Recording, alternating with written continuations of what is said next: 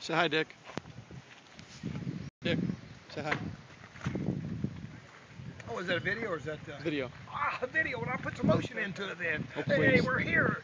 It's got sound too? Yeah, Audio? yeah. Oh, okay. We're here right now at lovely France Park, Logan in Logansport, Indiana. Out there is a home of the Wiley Spoonbill. We're going in pursuit of him today, and I'm sure that before we leave today, at least half the group will have witnessed the spoonbill.